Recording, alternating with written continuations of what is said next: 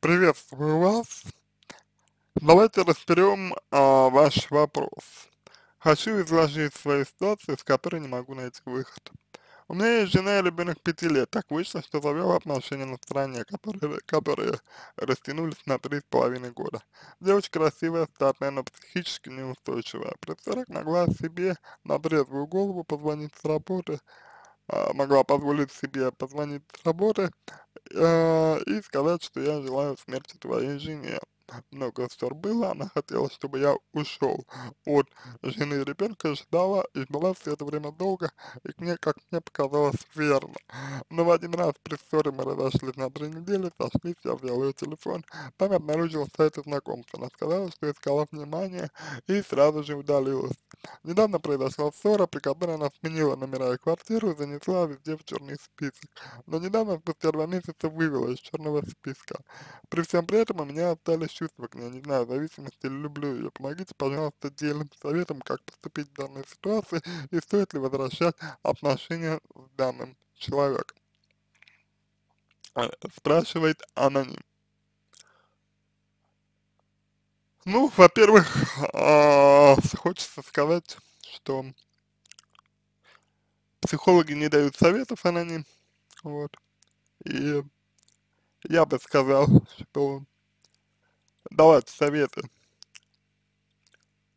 э, ну, в данном случае, значит, э, брать ответственность за вас, за вашу жизнь, вот, что мне э, кажется не, за, не совсем правильным. Вот. Это первое. Второе. А, что есть дельный совет? Ну, что вообще такое дель, дельный совет? Что а, дельный совет, в принципе, из себя вообще представляет, да? А я думаю, что вы не глупый человек, и я думаю, что прекрасно. А, понимаете, что а если бы был какой-то совет, который мог бы вам помочь, то есть вот который вы услышали бы и э, ну, сразу бы решили свою э, проблему, да, то мне, мне кажется, что вы бы ее уже решили, а советом уже бы в общем и целом воспользовались бы, потому что, э, ну, чего ждать. А дело здесь не в совете, а дело здесь в том, а, что вы а, игнорируете те перемены, которые у вас происходят. Дело здесь не в советах, а в том, что вы игнорируете те а, изменения, которые, судя по всему, происходят в вашей семье и лично с вами. Вот обратите, пожалуйста, внимание, вы пишете, у меня есть жена и ребенок, пяти лет. Так получилось, что завел отношения на стороне. Что значит так получилось? Ну, э, вы из какого-то желания, вы из какой-то потребности, вы из какого-то решения завели эти отношения на стороне. И, соответственно, нужно смотреть, нужно смотреть, нужно исследовать, что это за отношения, у вас с, с данной женщиной. Что они из себя представляют, эти отношения с данной женщиной. Ну вот. А, с какими потребностями вы пришли? Что вас в ней привлекло? Понимаете, у вас сейчас кризис семейных отношений.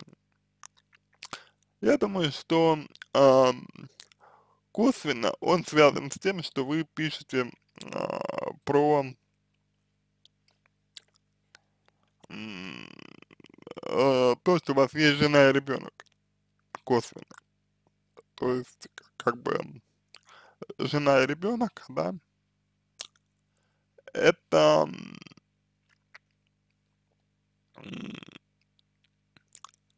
довольно узкое восприятие э, ваших любимых людей. У меня появилось ощущение, что вы не воспринимаете свою жену, например, как личность. У меня появилось ощущение, что вы видите в ней только жену. И все.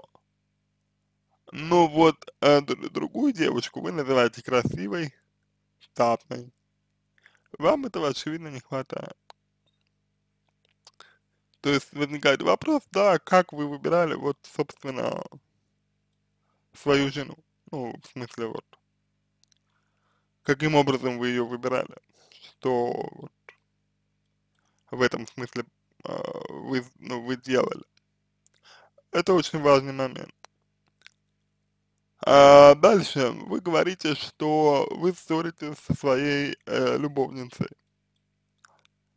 Э, ссоры с любовницей имеют причины, да, и вы, в свою очередь, э, вы, как мне кажется, э, вносите вклад, вы вносите вклад в ссору. Нужно понимать, какой именно вклад вы вносите. То есть нужно понимать, а, что делаете вы для того, чтобы а, ну, ссориться. Вот. Что делаете вы для того, чтобы ссориться вот э, со своей э, любов, любовницей. Потому что без вашего участия без вашего именно участия в ссоре бы не было. А раз она есть, значит вы что-то делаете для этого. Вот что вы делаете для этого нужно как раз таки, на мой взгляд, и выяснить. Это первое, пожалуй, и э, самое главное здесь, в этом контексте. И дальше уже смотреть, да, как бы, чего вы хотите, дальше уже смотреть, как и что. Вот. Вот как-то так.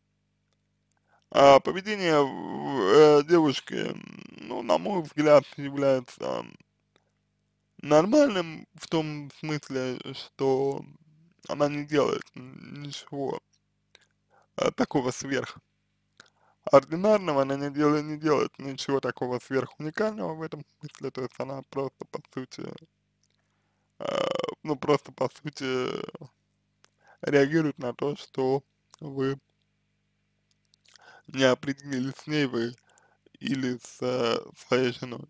Вот. Э, женщины в э, таких ситуациях поступают ну, похожим образом примерно. Вот. Вы говорите, что она ждала, э, что вы уйдете от жены ребенка, и, наверное, верно, пишете вы. То есть вы готовы были уйти, но готовы были уйти к ней. В этом ваша большая ошибка. Если уходить от жены и ребенка, уходить нужно самому, никому да. Иначе получается костыли. Уходя из одних отношений, потому что вам не, не хватает там чего-то, вы приходите в другие отношения, где пытаетесь получить что-то, чего вам не хватало, но то, что вы получали в предыдущих отношениях, в новых вы получать не будете, и будет возникать, э, будут возникать конфликты. Кроме того, э, сложно полноценно воспринимать человека, когда уже есть вот кто-то у вас, ну, то есть сложно воспринимать любов, любовницу э, полноценно, да, как, как личность, как женщину как партнера, вот, а, когда у вас уже есть партнер.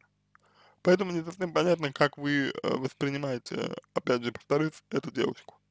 И чтобы в этом разобраться, нужно посмотреть на ваши отношения с женой. Что вас не устраивает? Готовы ли вы с этим что-то делать, или вы решили, что все, пора разойтись? Понимаете? Вот.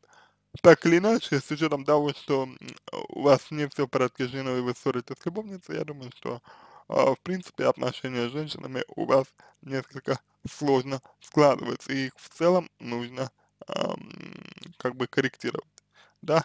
А, традиционно, классически это связывается с отношениями с мамой, но тут могут быть различные нюансы, а, не обязательно анализировать ваше детство. А, возможно, будет просто, ну, достаточно будет просто посмотреть на то, как вы выражаете свою позицию, например, да, вот, как вы выражаете свои желания. То есть, если есть ощущение, что вот вторая девушка не ваша жена, она как бы э, здесь для того, чтобы э, что-то что подчеркнуть вас. Вот. вот вопрос заключается в том, что именно и как вы хотите это подчеркивать. И какой конфликт вы, конечно же, в связи с этим проживаете. Вот помочь вам разрешить конфликт является задачей психолога. Естественно, идеальным э, вариантом было бы, чтобы вы вместе с женой, игнорируя тему любовницы, тему любовницы не поднимаем, э, обратились к психологу и посмотрели на свои отношения, решили, что же вам с ними делать. Либо расставаться, либо гармонизировать. Там, да, таким образом, глядишь, и с любовницей вы сможете определиться. На этом все. Я надеюсь, что помог вам. Буду благодарен за обратную связь по моему ответу. Это позволит вам начать работу над собой. А, желаю вам всего самого доброго. Удачи. Обращайтесь.